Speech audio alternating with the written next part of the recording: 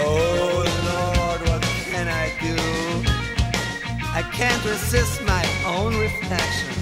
How